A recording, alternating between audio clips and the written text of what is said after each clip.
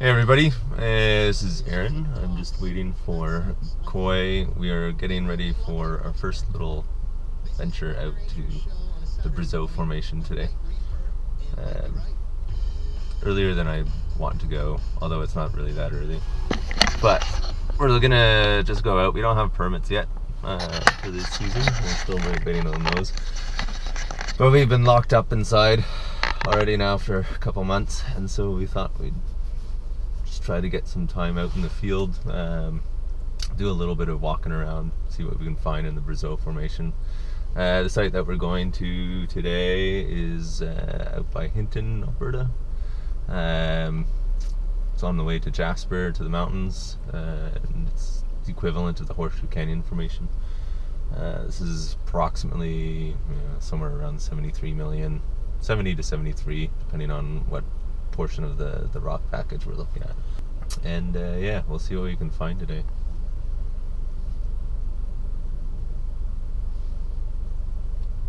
He looks like he's awake. You got a new car? No, borrowing it. Borrowing. Yeah. All right, What's up with you? we'll catch up with you guys when we get there.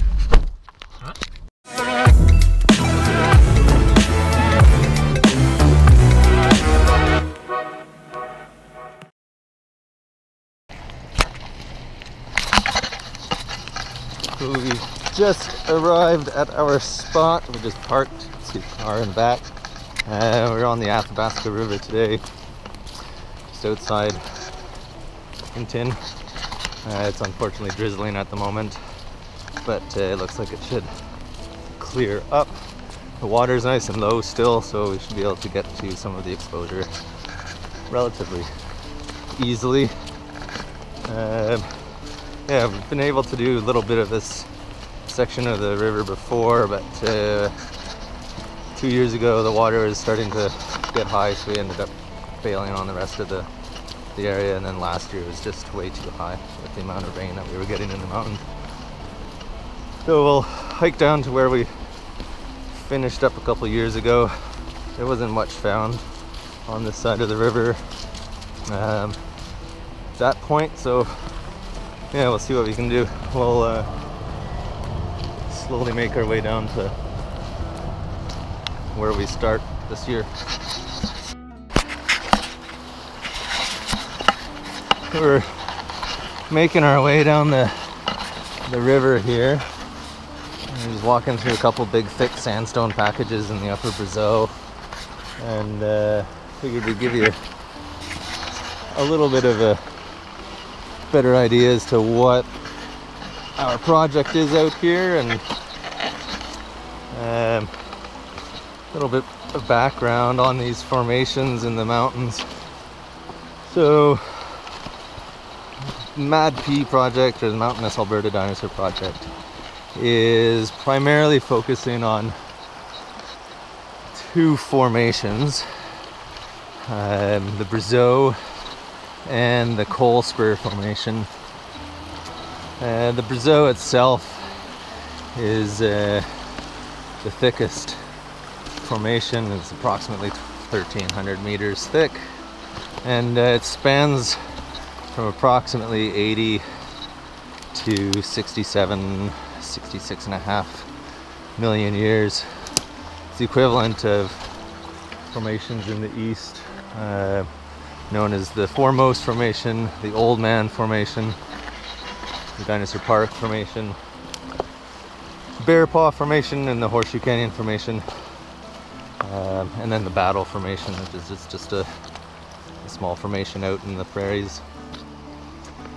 And uh, the Coalspur is equivalent to the Scollard, and it contains the, the KPG iridium boundary layer clay uh, which we've been able to find a few few localities for, which is kind of cool.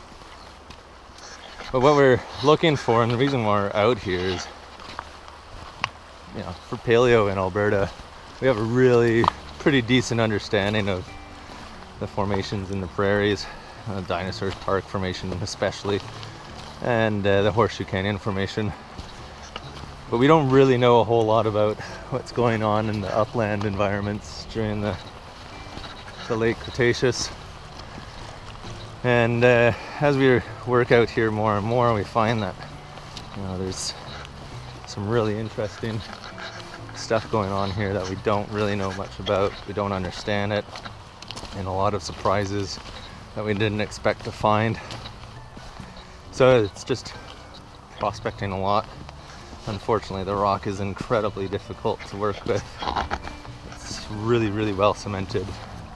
The sandstones generally produce vertical cliff faces, and so getting anything out of them can be difficult unless you find it in a rock slide, which is typically what we've been doing so far is pulling stuff out of rock slides, which is a little bit problematic sometimes.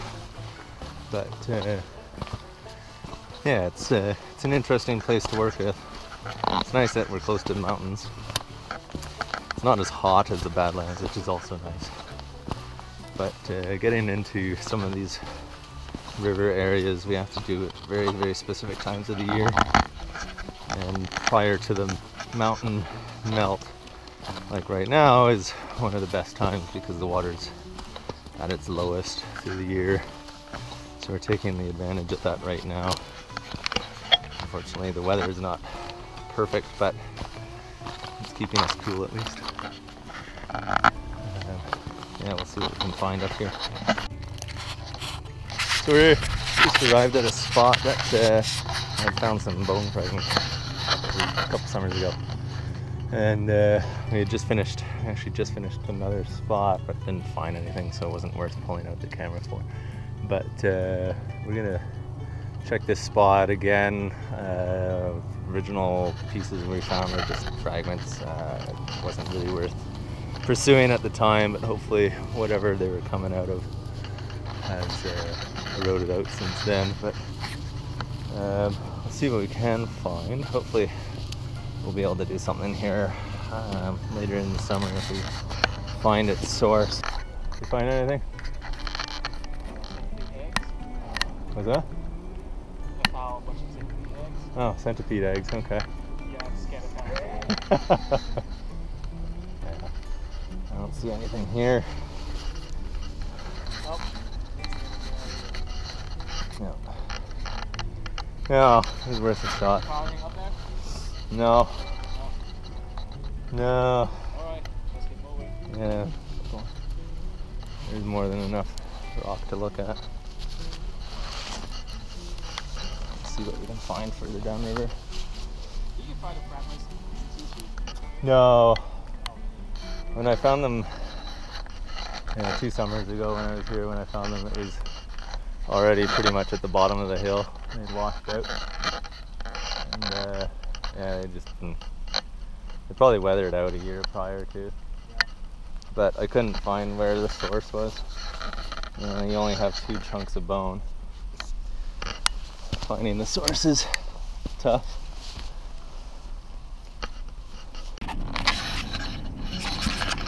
All right, so we've gotten a little bit further down the river here, maybe, I don't know, not too far, maybe 500 meters, 600 meters, somewhere around there. Uh, we're on to another exposure. This one's fairly big. You can see behind me we're barely up on, high up on the hill. 30, 40 meters. Um, still nothing, unfortunately. But yeah, that's the way that it goes sometimes. Uh, have been finding tons of ash, which is great.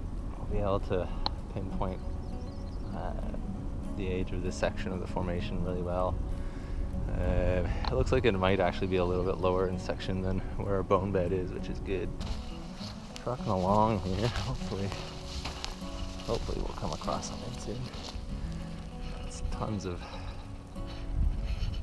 tons of exposure for. Oh, look at that! That's unexpected. Top Flight XL 2000 golf ball. Somebody's nailing golf balls off of probably the other side of the river there. You can see there's another cliff face over there. You find anything? yeah. It's uh, it seems like a, a dud of a day. Never come out of here completely skunked. What's go?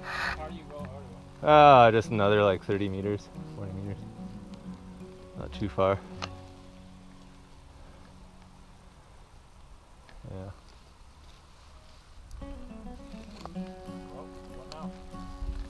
Just keep on walking downstream. See if we can find anything else. I just love that view of the mountains though. Yeah.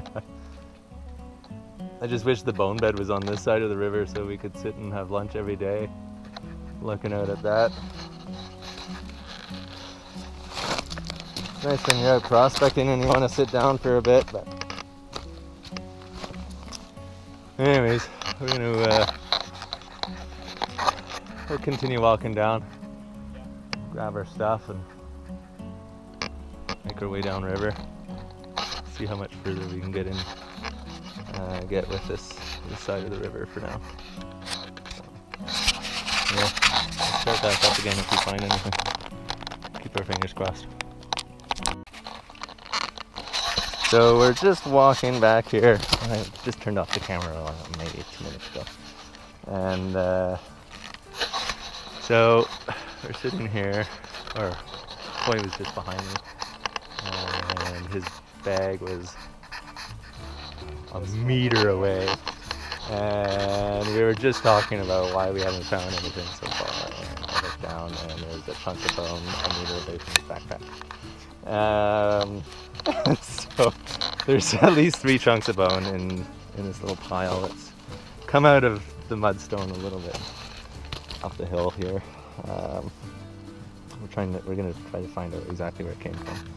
But uh, his excuse was that he was planning on coming back this way afterwards and looking for bone, even though it was right beside his.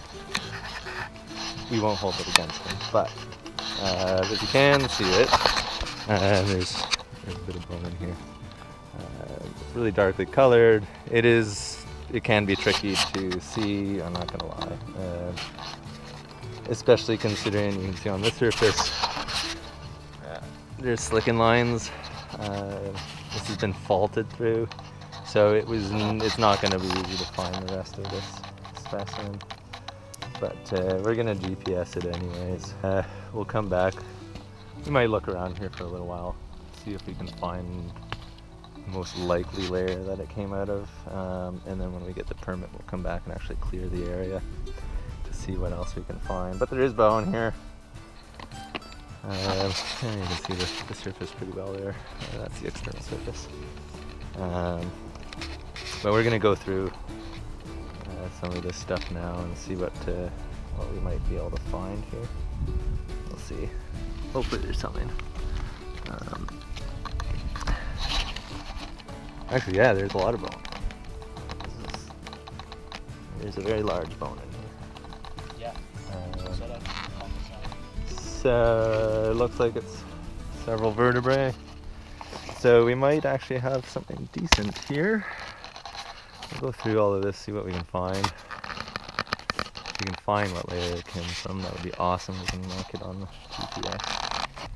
Yeah, that's pretty awesome. It's a good day when we find something out here. Knew we were gonna find something. It's just a matter of how long it takes. And boy walking right by it. Uh, you might tease him for a little bit of a day. Oh, I'm sure I've walked by things all the time out here. the bone, the, the bone oxidizes. The surface of the bone oxidizes. Virtually the exact same color as the rock. It's really frustrating. I know that I've walked by bone out here. Like there's that specimen down on the southern, down by Sundre. There was a disarticulated juvenile hadrosaur. You just walk right by the bone. Uh, or one of our other specimens that we're currently on prep in, where we've ta- taken the blocks that we could see the bone in, and then discovered there was an articulated specimen in it that we didn't even know was there, and then realized that we left half the specimen in the field. That we'll have to go back for this year. So, yeah, finding bone out here can be difficult. and identifying it is really tough. So, not his fault. Uh, I'm not surprised that we walked right by it several times. Uh, we're heading back to the the car now. It's been a long day. Uh, we didn't really end up finding a whole lot at that uh, that site. There was three pieces, um, but uh, we think we might have found the the layer that it was coming from, but we're not 100% sure. So it wasn't worth filming a whole lot there. It wasn't uh, nearly as productive right off the surface as we were hoping, but uh, we might end up going back later this year when we get a permit and actually kind of digging into the hill there. But uh, yeah, we're just heading back. Um, not too far from the car. All in all, it was a decent day. Uh, we'll see what uh, comes of it later in the year, hopefully. Future Aaron here. Unfortunately, while we were in the field, the battery died. Don't worry, you didn't miss anything. Anyways, we're already walking back to the car. Uh, that was about a month and a half ago. Since then, we've been fortunate enough to be sponsored by Agisoft. They've provided us with Metashape Professional, which is a photogrammetric uh, software program, which uh, we're going to do a bunch of tutorials in the future for you guys so you can see how to do uh, 3D modeling of badlands or river valleys or whatever, as well as microsite material or larger bones. Uh, also, in the meantime, we've been down to southern Alberta. We went down for about a week uh, to do some prospecting. Unfortunately, we still don't have permits. We now know that they are in review, but uh, we were there for about five days or so. So we'll be getting you about five episodes. We have amazing material to show you, uh, some really, really exciting stuff. So please keep uh, watching. If you like what you saw today, please hit the like button, give us that thumbs up. As well, please hit the subscribe button. With a thousand subscribers, we can start to try to use the channel as a way to fund our field work. Thank you very much for watching, and we'll talk to you soon.